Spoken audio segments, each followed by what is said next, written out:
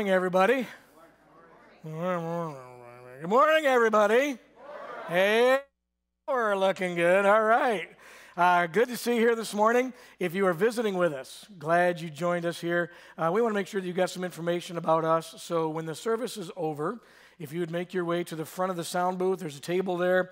Uh, there's a white bag, some white bags on there. One of those is for you. Please grab one of those and look through it. And uh, as you go through it, you might find information about us in there that you have more questions about. And you, by all means, feel free to give me a call. I'll be glad to try to answer those things. Also, as we do every week, if you got your bulletin, if you grabbed one of those when you came in, on the very back is a communication card. Please, right now, take a moment, fill out the information on the information card, tear it off, and in just a little while, when we receive the offering, you can go ahead and place that in the uh, in the offering basket when it comes by. You can leave it on your chair if you want to do that. Uh, either one, we will find it. So please take a moment right now to do that.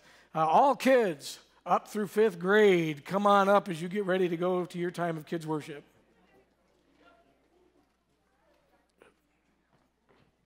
So, if you're new and you don't know what we're doing, we have a box, and it's supposed to come up here, and it's they're supposed to put something in it, and I am supposed to teach them something about God from whatever I find in the box.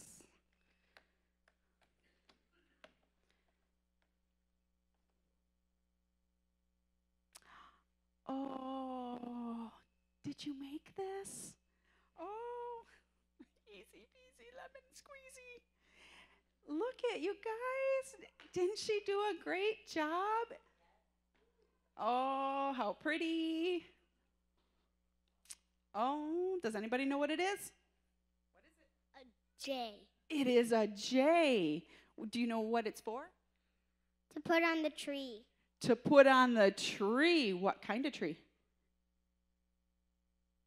Christmas tree. A Christmas tree. What do you think it stands for? What does the J stand for? God. It stands for Jesus, right? Yeah, Jesus. And why would you say God when you think of Jesus? Ah, because Jesus was fully a person, a human like you and like me. 100% completely, totally a person like you and me. But he was also 100% completely and totally God. I know, right? Mind blown. Yeah, I know. We can barely wrap our minds around it. It's such a big idea. But that's because we serve a big God. Isn't that awesome? Do you know the Bible says that His ways are higher than our ways, and His thoughts are higher than our thoughts. He thinks things and does things that we cannot understand. And that's okay. We aren't supposed to understand. So, whenever you see anything, a J, maybe you're looking and you see the word joy. Maybe your name starts with a J. Whenever you see a J, whenever you see a Christmas ornament or anything of the like, remember that Jesus was 100% person and he was 100% God. And we don't have to understand it because God's ways are higher than ours and his thoughts are higher than ours. That's beautiful. You did a really nice job. Thank you. Pastor Michael, hand out the box because that's his job. All right, let me pray for you and you'll go to your classes. Lord, I cannot thank you enough that your ways are higher than mine and that your thoughts are higher than mine, that I don't have to figure everything out, that I can trust you, that I can rest in you, that even though I don't understand so much, I can rest in the fact that you've got it all figured out Oh, my Father, please impress upon the hearts of these children your ways. I pray that every single one of them would surrender their will to you and, and call on you as their Abba Father, their Master, their Savior. I pray this morning your hand would be on their teachers, that you would help them to teach your word accurately in a clear way that these kids can understand and that they would speak your truth boldly in love. Be in this place this morning. We love you so much. In Jesus' name, amen. Amen.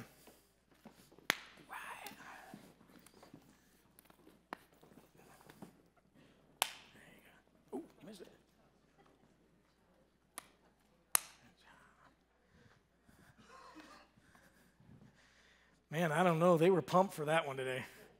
They were going to make that thing hurt. That was good. We do serve a really great God, don't we? Let's talk to him, shall we? Father, you are indeed a great God. We are so we are so blessed, truthfully, to be able to be here, to be able to worship you. Lord, we just we stand in awe of you. This morning, Father, we come here with um, all sorts of things going on in life. Everybody's got something different. There might be just, we might be in a season where uh, things are just going so well and so smooth. And Father, we just want to give you thanks and give you praise for that.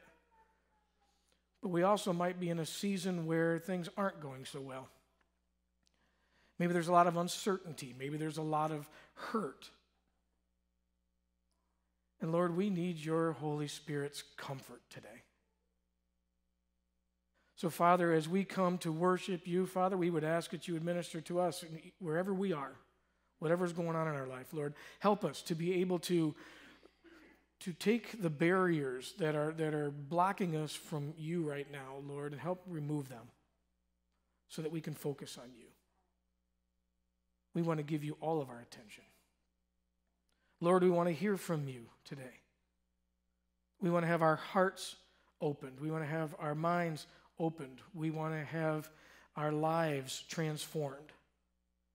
And we know, Father, that your Spirit hovers here and that He can do just that. So, Lord, we're praying for that today. So we give you our, our praise, our worship. We do it in song, Lord. We do it as we open up your word here in just a little while, and we do it by giving to you because that's what you've designed.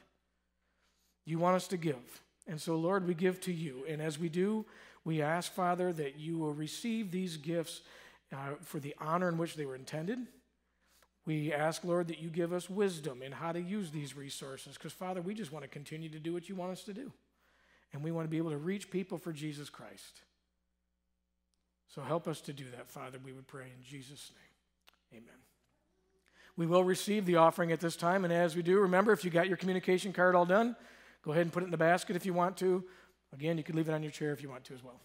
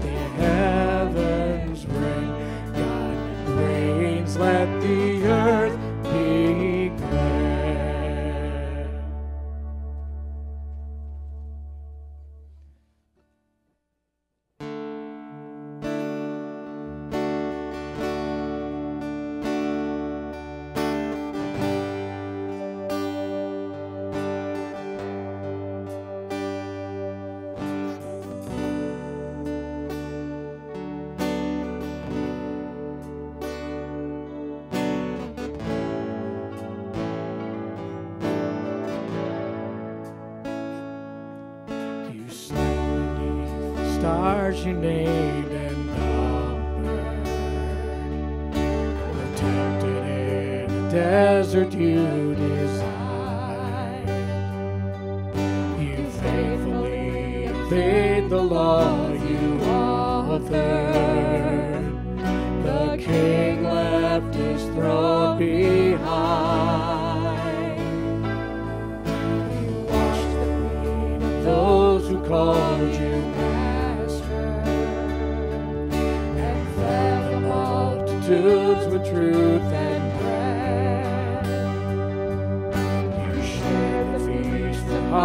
the tempest.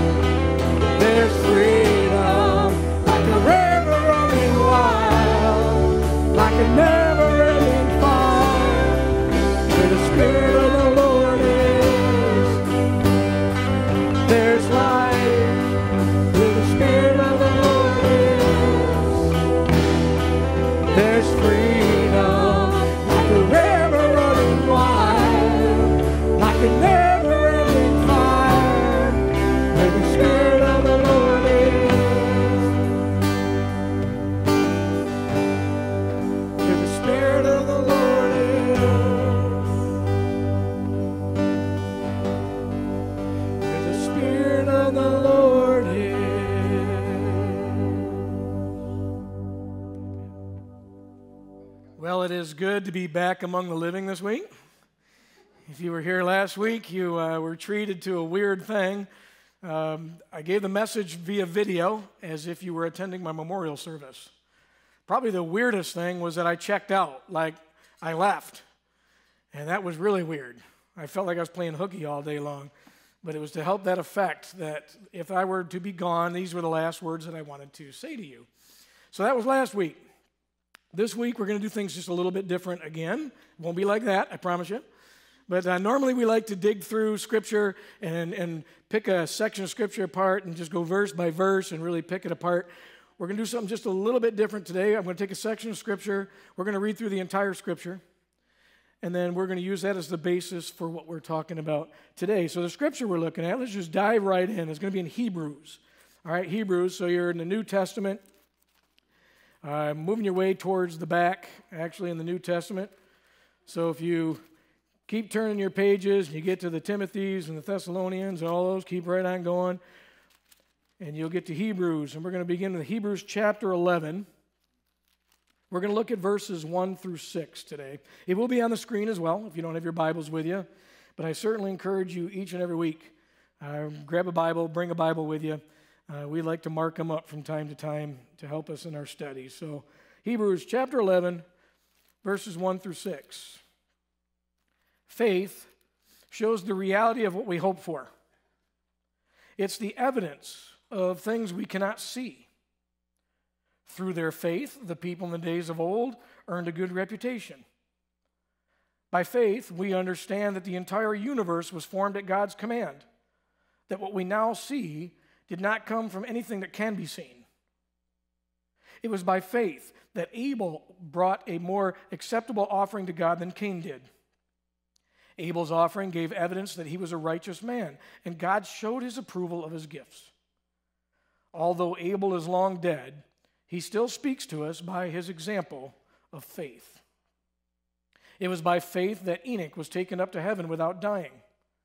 He disappeared because God took him. For before he was taken up, he was known as a person who pleased God. And it's impossible to please God without faith. Anyone who wants to come to him must believe that God exists and that he rewards those who sincerely seek him. So here's the question right away I want to ask you Do you believe in God? Are you a Christian? Would you call yourself a Christian? Seems like kind of a weird question to ask a room full of people who are gathered, you know, to worship God, you know, that type of thing, but it's really not that weird. You know, unfortunately, too many people identify themselves and answer the question about being a Christian by answering the belief question. In other words, I'm a Christian because I believe in God. And what they really mean is they believe in the existence of God. But that's not exactly what is being asked here. In fact, it's not even what the author of Hebrews is getting to. He said that a person must believe that he exists and that he rewards those who sincerely seek him. So, what does that mean? That's what we're going to be exploring today. What does it mean to believe in God that he exists and to earnestly seek him? We read in James chapter 2. You say that you have faith, for you believe that there's one God. Good for you. Even the demons believe this, and they tremble in terror. How foolish. See, the confusion regarding this issue comes from the fact that there are a lot of groups raising up today that go under the name of Christian. And they're really not. And it confuses things. You know, Jesus' first followers were called followers of the way. Uh, we assume that that's because Jesus referred to himself as, I am the way, the truth, and the life. And so those who followed him would be considered followers of the way. But today we also have other groups with the way in them that lend to the confusion. Like there's a group called the Way International. This group believes Jesus existed, but they don't really believe that Jesus was God. He just was a good teacher. And they also believe that you don't need to go through Jesus to get to heaven. You just need to be a good person. You can do it by your own efforts. And their leader is a guy who believes that he received some special revelation from God as how you're supposed to read Scripture, what Scripture really means. It's kind of cultish, actually. That's the Way International.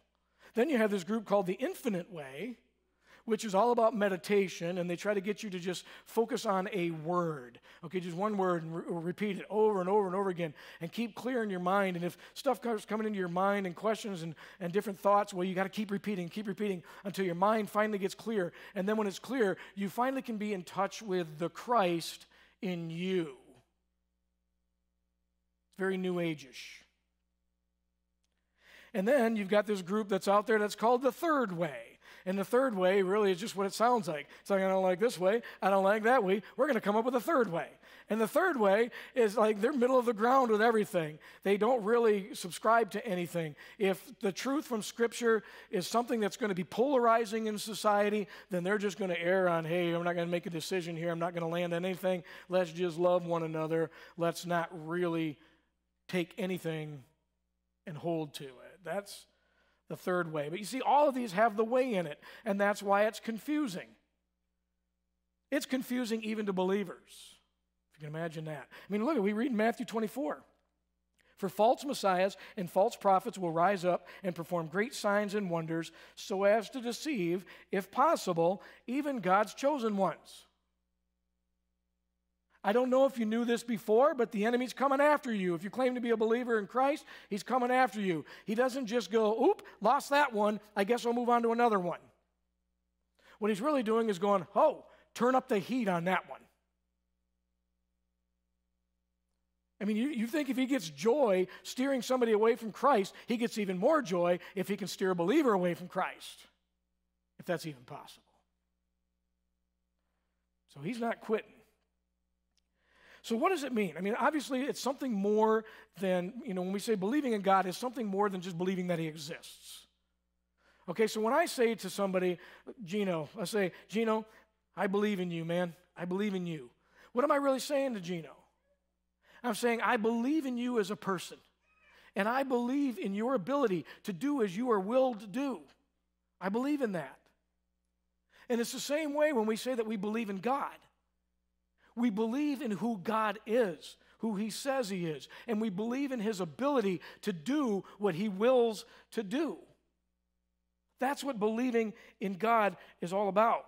It's deeper than just a mere existence, it has to do with hope and confidence in that person. Hope and confidence in them as a person, hope and confidence in them in their abilities to carry out that which they will.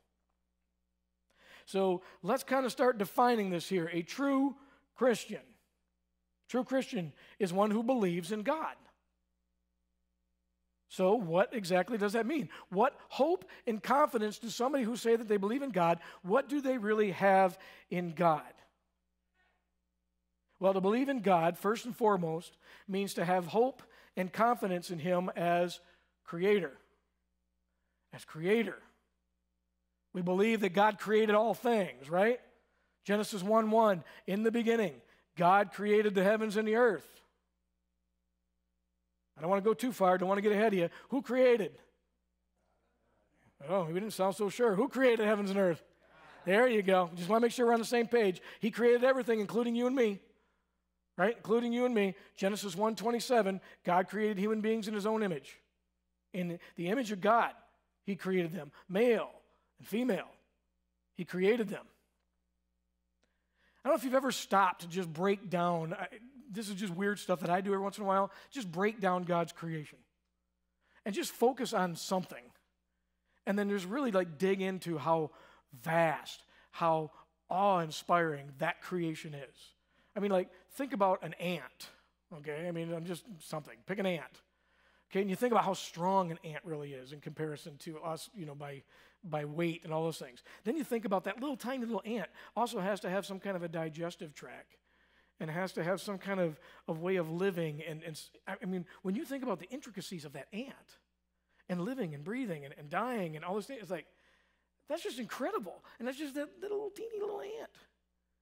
Okay, I might have been inspired by watching a kid's show with ants yesterday in it. I don't know. But I was like, that's what it was. But think about the human body, man. Think about our, our bodies. I don't know if you realize this or not, but do you realize that every minute, every minute your bones are repairing? Did you know that? Your bones are tissues that get stronger over time, but then they break down and then they repair themselves and they keep getting stronger until every 10 years you have a new skeletal structure. Did you know that? Is that cool or what? I mean, some of us that are older might like debate that, but you know. Did you know that your bodies produce 120 million blood cells? Made in the bone marrow, they carry oxygen to the body, but they also they also uh, get rid of the carbon dioxide, so you can live. That's incredible. Did you know that our body cleans its own blood? I mean, our, our kidneys, that's what they do. They're in there cleaning the blood, and, and they get rid of the blood, the bad blood, they, they re send out the good blood to the body and all that kind of stuff, and they do it to the tunes of 1.2 liters every minute. Or our bodies, if you will, they go through the circulation process 30 times a day. Man, isn't God awesome? I mean, that's just a sampling. Looking at his human creation. See, there's more than what meets the eye. Believing in God is simply more, is more than just simply believing and, and looking at his creativity. You know, for Christmas, um, I, I received a Ruger 9 millimeter pistol. And it came with instructions of how to use it. Here's the proper way to use it. And it also came with warning labels. If I didn't use it the way that they deemed was proper, I could expect harm and or death. What right does Ruger have to tell me what the proper use is of that gun? Well, Ruger's the manufacturer. They're the creators of that gun. They're the ones who have designed it to operate a certain way. And as the operators of that gun, as the ones who created it, they are the authority on what the proper use of it is. Now, if I decide that I'm not going to pay attention to that and I use it for a way that it's not intended to be used, and I experience harm or death, then that's because of something I did, not because of something they did. That comes from me. Well, God, as your creator, is not just creative. As your creator, He is also your authority. He's the authority in how you should live your life. He has every right to determine how you should live your life. And that too comes with the manufacturer's warranty. Promising harm or death to you if you live as you should not live. To believe in God as your creator is to also acknowledge him as your authority. A true Christian believes in God as a creator and accepts him as their authority. That's just one thing. To believe in God also means that you have hope and confidence in him as the Savior. As Savior. We read in Isaiah 43 I am the Lord your God, the Holy One of Israel, your Savior. I gave Egypt as a ransom for your freedom. I gave Ethiopia and Seba in your place. Others were given in exchange for you. I traded their lives for yours because you are precious to me. You are honored, and I love you. Who's your Savior? Okay, let's just keep right on going, shall we? 1 John chapter 4, we've seen with our own eyes and now testify that the Father has sent his Son to be the Savior of the world. Who's the Savior? Oh, hey, we got a little bit of conflict here. Is God the Savior of the world or is Jesus the Savior of the world? Yeah, we're getting there. See, whenever you come across something like this in Scripture that seems to be an apparent contradiction, one of two things is true. Either Scripture is in error or you are. And as followers of Jesus Christ, we really believe, as it says in 2 Timothy chapter 3, we believe that all Scripture is inspired by God and therefore without error. So that I guess by, you know, deduction, it comes down to it has to be us, right? We have to be the ones in error. And when that's the case, we need to go back and study more until we can rectify that, that difference. We need to be able to figure out what that difference is. We got to study more. And in this case, we get to answer this question by studying further. Is God the Savior of the world or is Jesus the Savior of the world? Here we go, John chapter 1. In the beginning was the Word. The Word already existed. The Word was with God, and the Word was God. It's kind of a strange wording already. He, being the Word, existed in the beginning with God. God created everything through Him, the Word. And nothing was created except through Him, except through this Word. So, who's the Word? Well, the Word became human and made His home among us. He was full of unfailing love and faithfulness, and we have seen his glory, the glory of the Father's one and only Son. For the law was given through Moses, but God's unfailing love and faithfulness came through Jesus Christ. Still confused a little bit? Let's go back to creation, right at the very beginning again. God makes a very interesting statement as he's creating. Genesis chapter 1, verse 26. Let us make human beings in our image to be like us. I don't know if you ever saw that or not. Who's he talking to? Am I suggesting that Jesus was present at creation? Yes, I am. Even more so, I am saying that Scripture tells us that Jesus participated in creation. Well, hold on. How's that possible? Because Scripture says that God created all this stuff. Well, let's keep reading. All right, Colossians chapter 1. Christ is the visible image of the invisible God. He existed before anything was created and is supreme over all creation.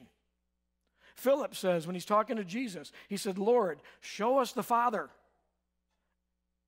and we will be satisfied. Jesus replied, Have I been with you all this time, Philip, and yet you still don't know who I am?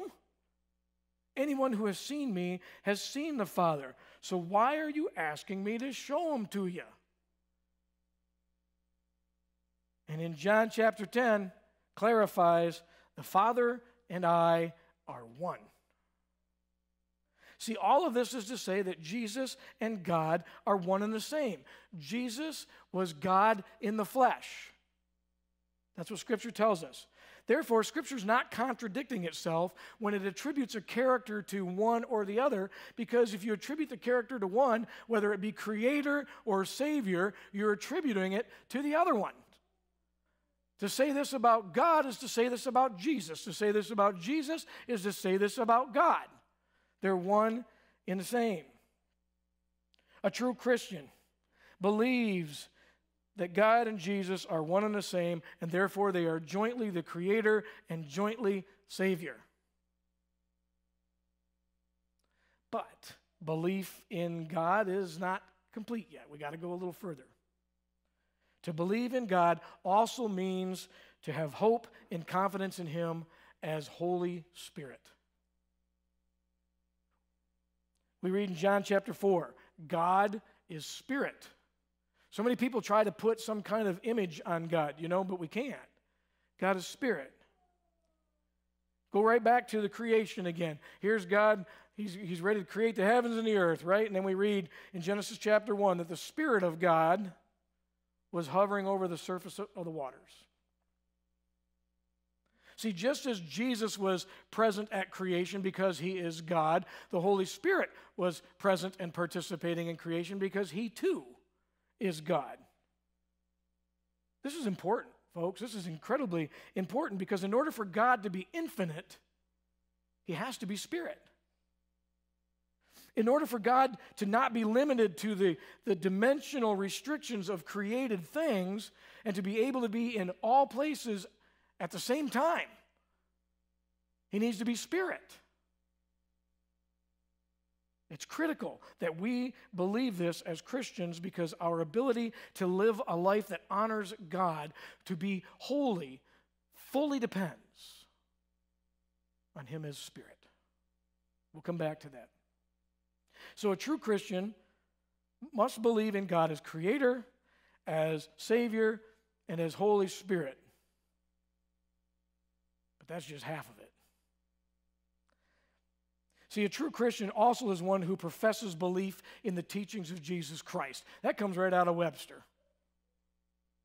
You believe in the teachings of Jesus Christ. Another word for it is disciple. We've talked about that before. What's a disciple? A disciple is one who accepts and assists in spreading the doctrines of another. They are a follower of Jesus. That's where we get the word Christian, by the way. Very interesting. You read in Acts chapter 11, it says it was at Antioch that the believers were first called Christians. You know why I like that? They were first called Christians, they were followers of Christ given to them by people who weren't necessarily followers of Christ. But the word Christ means anointed one. It's where we get Messiah. So the people who don't even believe he's the Messiah are labeling a group of people as Messiah followers. I don't know. I get a kick out of that. So a, a believer, one who believes in God, not only believes in him as creator and his savior and his Holy Spirit, but they also believe in him as one who accepts the teachings of Jesus and assists in spreading the teaching of Jesus. Take a good look at that. Because that's not an either or, that's a both and. They accept the teaching of Jesus and they assist in spreading the teacher, teaching of Jesus. That's what the Bible means when they refer to a person as a Christian. Now, that's a broad definition, really, considering all that Jesus teaches. I mean, he teaches a lot of stuff. but it's really narrow and it's really precise when it comes to the application of those various teachings. But we're still not ready to compile a complete list of what it means to be a Christian. I think it's important that before we do that, we go ahead and we define its counterpart an atheist. An atheist is a person who disbelieves or who lacks belief in the existence of God or gods. This person doesn't really have any moral boundaries other than what they place upon themselves or what maybe the law might place upon them. As far as they are concerned, this life is all there is. There is nothing after this life. There's no eternity thing to worry about. You just live your life in this life the way you want to live your life, no problems. I'll do my thing, you do your thing. You're not wrong, I'm not wrong, unless the law says we're wrong. So here's my question a very thought provoking question Can a person be both a Christian and an atheist?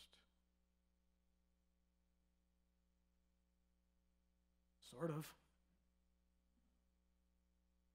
Sort of. We're going to coin a phrase today, or it's actually been coined by somebody else, a man named Craig Groeschel. He's a pastor and he's an author.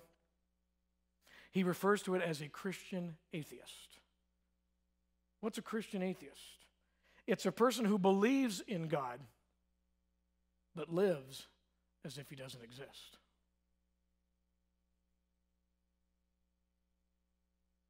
This is a very critical piece. It's the final piece to our definition of Christian.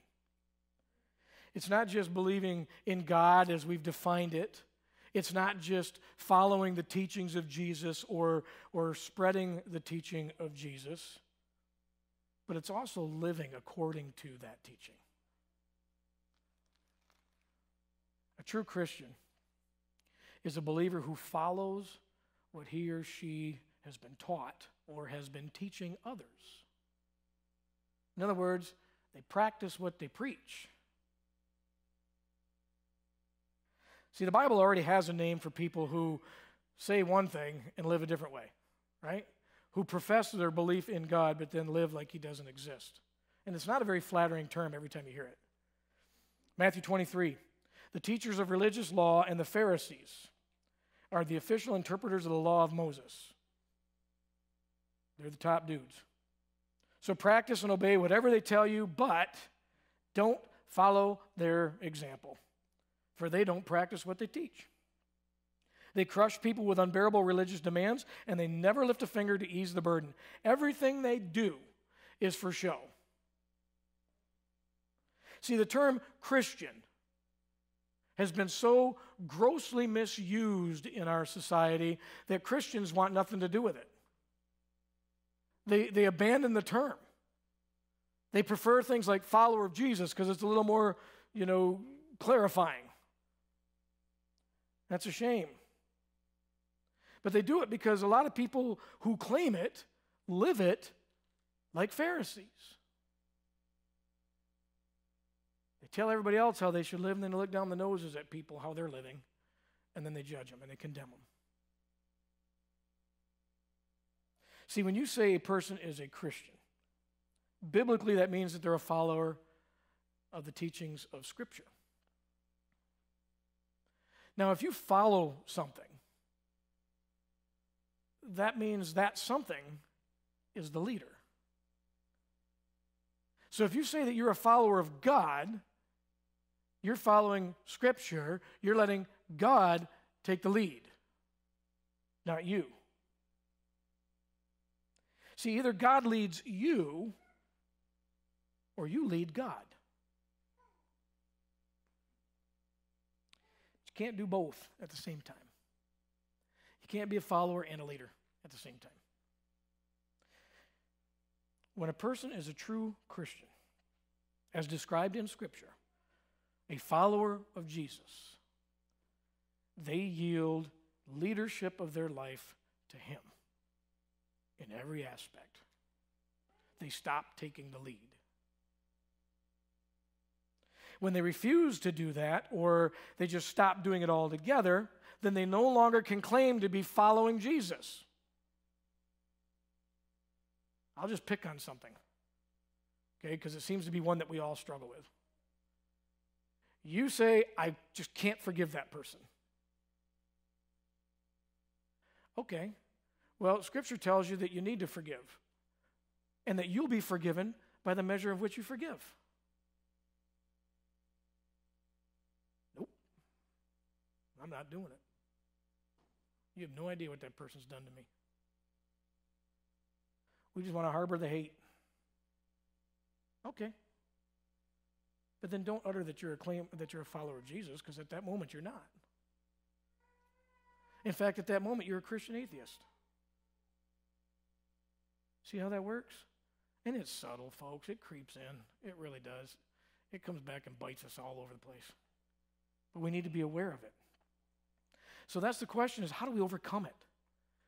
How do we overcome it? Well, this is where the truth that, that God is spirit comes into play. We read in 2 Corinthians chapter 1, it's God who enables us to stand firm for Christ. He's commissioned us and he's identified us as his own by placing the Holy Spirit in our hearts as the first installment that guarantees everything that he's promised. See, as spirit, God is able to indwell our hearts all at the same time. As I'm standing up here talking to you, he's indwelling your heart too.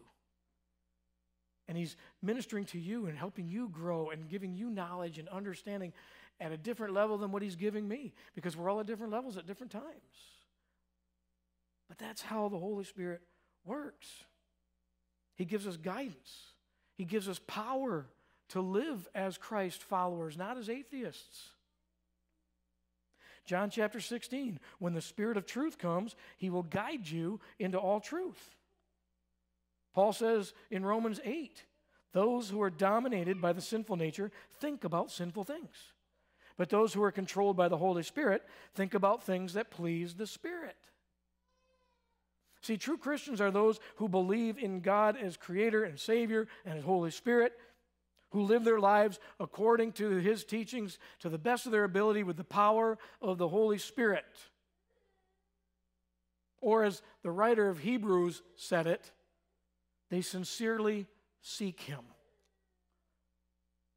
See, all of this we've been talking about is what it means to believe that God exists. This is what it means when we say that. When the writer of Hebrews says you got to believe He exists, you got to believe He exists as Creator. You got to believe He exists as Savior. You got to believe that He exists as Holy Spirit.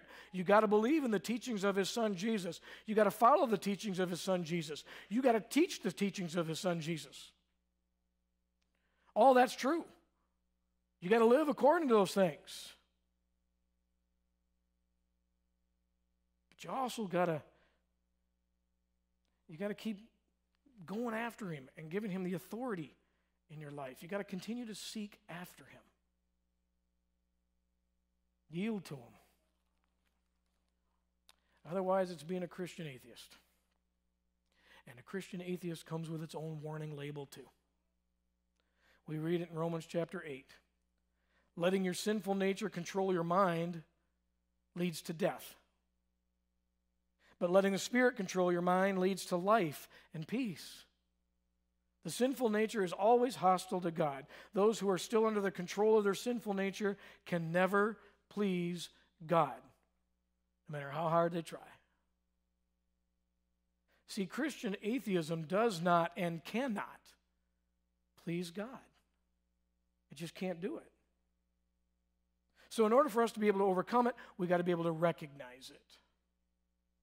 So, for the next few weeks, that's what we're going to do. We're going to take a look, we're going to expose the subtle ways in which atheism creeps into our Christian faith. Hopefully, you'll find it eye opening. More importantly, I hope you find it liberating. Let's pray together.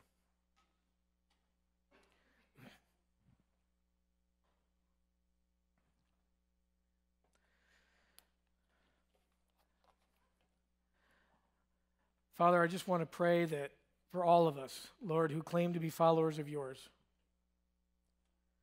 that we'll, te- we'll take a deeper look at that, that we will take stock of what we mean when we say we believe in you, that we will go deeper into that belief, that we will expand that belief, that we will check that belief according to Scripture. That we'll make sure, Father, that we acknowledge you as the authority in our life that we recognize that your Spirit indwells in us, that we subscribe to the teachings of Jesus and that we tell others the teaching of Jesus. And then, Lord, I would pray that in the next coming weeks, as we examine ways that, uh, as we call it, atheism creeps into our faith, Lord, I pray that you will encourage believers. Help us to be able to, to see it so that we can deal with it, so that we can continue to move on, looking more like you, sounding more like you, acting more like you. Father, I pray at the end of this series, Lord, that we will have been changed and we will have been moved, that we will grow in you.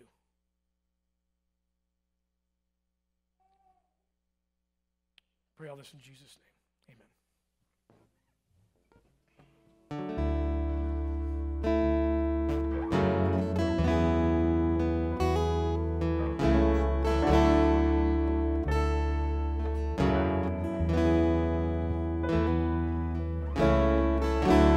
Father everlasting, the all creating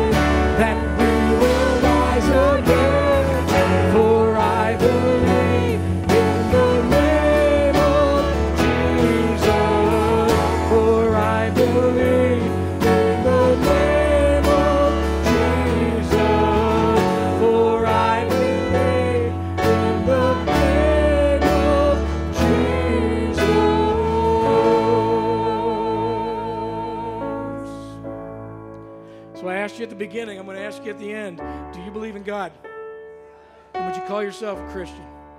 Praise God, man. Go in peace. May the God of love and peace go with you now and forevermore. Amen. See you next week. I believe in life eternal. I believe in the virgin birth. I believe in the saints' communion and in your holy.